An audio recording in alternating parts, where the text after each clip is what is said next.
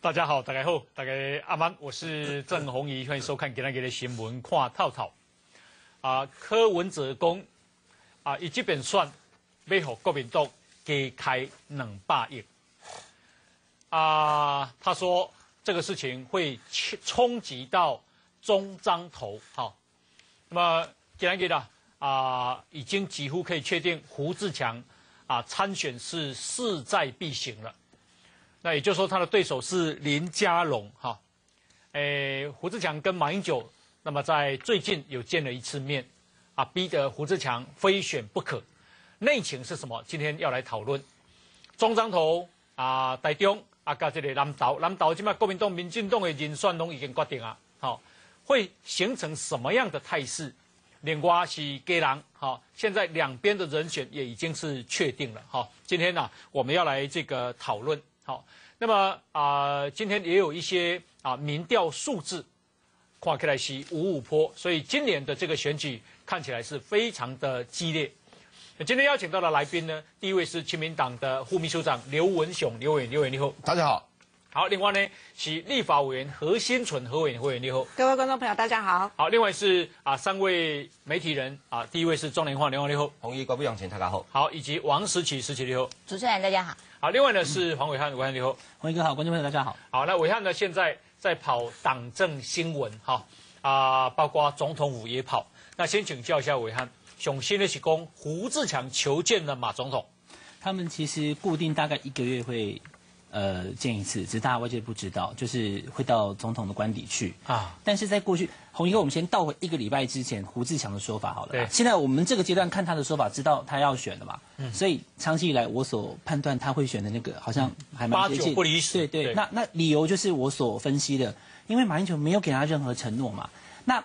胡志强在呃之前一直不断的告诉大家说，他如果说要选的话呢，就是呃因为他舍不得市政府的员工，那看看会不会有什么问题，会不会有什么奇迹或是其他的转机。他的转机就是希望能够，是不是有另外的选择？嗯，我想的监察院的院长，或者是考试院的院长。嗯，这两天有个新闻说，连王建轩都没有了，可能要找王清峰。对，好，或者是洪秀柱，因为他不分区嘛，可以有人补上来。所以胡志强更知道说。大老板没有给他任何的支票，他根本没有地方可以填呐。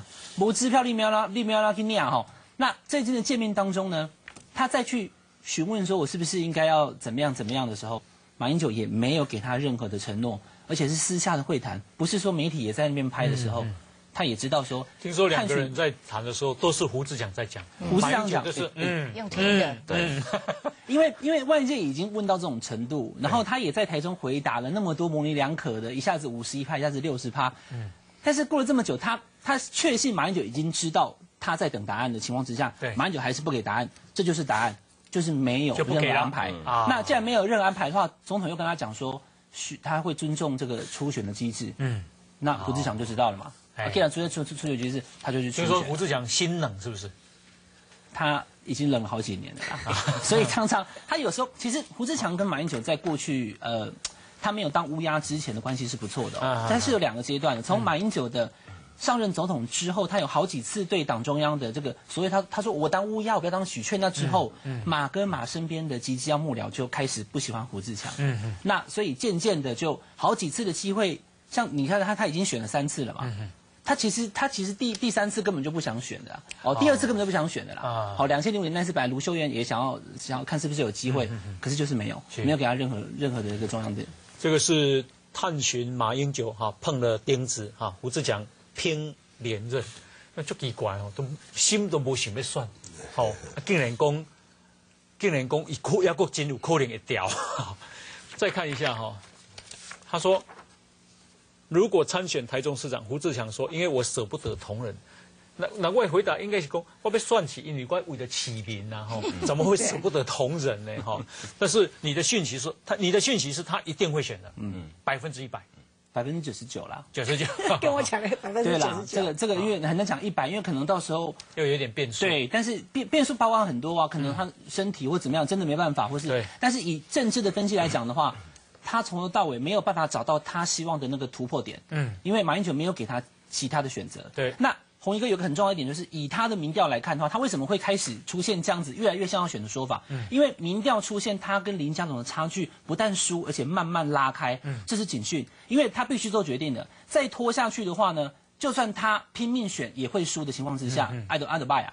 所以连党中央也是一样，马英九也不会希望台中输，因为中章头对二零一六会有很大的问题。马英九可能不是那么在乎二零一四啦，可是绝对不会让二零一六民进党执政，因为下一个总统如果不是国民党籍的话，一起超来蛋。所以这个重点就是中章头不能倒，所以台中一定要稳住。那以现在状况来讲的话，胡志强已经被林佳龙拉开差距了，而现在还有一点就是上次我跟大家分析的，就算你让胡志强去弃选或者是其他位置好了。其他没有人可以顶上来，其他的所有的候选人差林佳龙差更多，所以死马当活马医，现在只能够派出胡志强，很快就会宣布了。那也就是说，国民党应该是，诶，是在没有强棒的情况下找出这个最强棒。对，没有没有应该可以这样子讲，没有其他选项了啊，应该可以。但是其实我有听过另外一种说法，就是说，因为马跟吴两个，呃，跟胡两个人，就的确是一个僵局嘛，就。我我不要裸退，可是你又不肯给我东西，那怎么办？所以胡志强说不定是在玩一种火车对撞的游戏，就是僵局总是要有人先摊牌，那我就摊了牌，对，那我就要选啊。反正还有一个多月的时间，会不会在这一个多月的时间，最后马总统还是会试出一个什么其他的东西给他，嗯，来跟他交换？反正。总是有可能的嘛，所以他必须要先表态。我也听过这样子的说法，但是其实我之前也觉得说，当国民党没有其他，你把胡志强弄去中央，他谁去选呢？